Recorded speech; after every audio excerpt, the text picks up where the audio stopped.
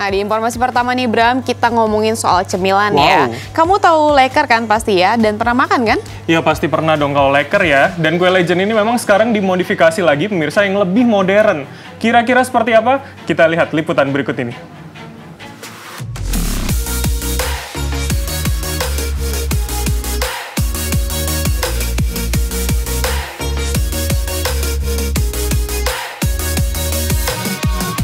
Kue leker kini tampil lebih modern dengan modifikasi dan toppingnya.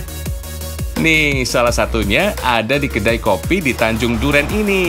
Ada puluhan varian kue leker dari yang klasik sampai yang kekinian. Nih beberapa toppingnya, ada selai stroberi, selai blueberry, creamer coklat, creamer susu, biskuit, kacang, dan yang lainnya.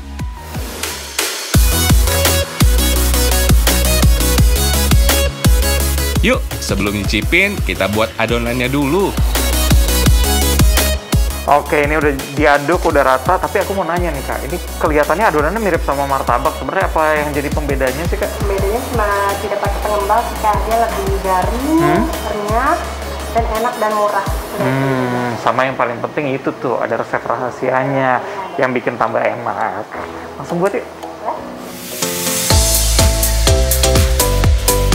Tuangkan adonan leker ke atas wajan panas yang diputer.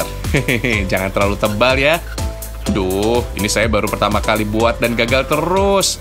Wajannya terlalu panas nih, jadinya bolong. Oke.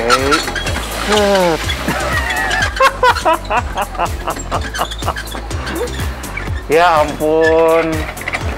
Ini gagal lagi, masih bolongnya gede banget malah bukannya leker malah kayak donat bolong aduh ya udahlah ini saya gagal terus emang kasih itu dulu berapa lama sih belajarnya? Uh, kurang lebih dua minggu sih udah bisa topping semua. Dua minggu, aku dua jam aja belum nyampe. Aduh, ya udahlah kalau nggak aku tunggu di meja aja. Aku serahkan sama yang ahlinya ya.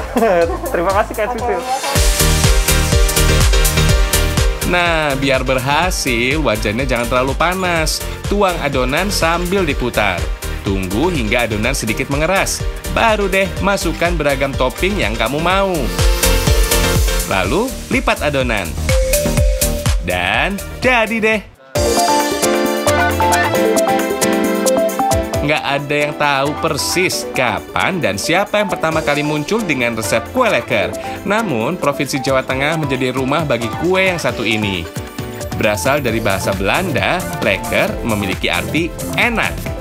Konon saat bangsa Belanda akrab dengan sajian pancake datang ke Jawa Tengah, warga lokal berinisiatif untuk membuat versi hemat dan tipisnya yang kini dikenal sebagai leker.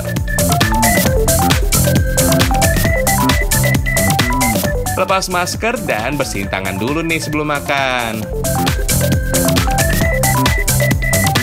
Pertama kita cobain yang kekinian dulu yuk. Aku tumpuk nih leker selai coklat dan kacang dengan leker selai stroberi dan selai blueberry. Wah, ini juara. Asamnya selai buah bercampur dengan manisnya selai coklat dan gurihnya selai kacang. Tekstur leker yang renyah juga menambah sensasi di mulut. Nih, yang klasik kita cobain juga nih, pisang coklat. Nah pemirsa kunci keberhasilan dari leker ini emang dari adonannya yang crispy dan juga tipis supaya enak banget dimakannya. Tapi kalau soal topping balik lagi ke referensi masing-masing. Lebih suka topping isi klasik supaya bisa nostalgia zaman kecil atau yang kekinian biar ada banyak rasanya. Tapi kalau aku sih tergabungin aja dua-duanya.